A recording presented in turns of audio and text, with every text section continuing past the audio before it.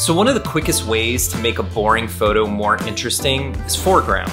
Making photos is super similar to cooking, just like when a chef uses a combination of spices and ingredients to create a unique flavor profile.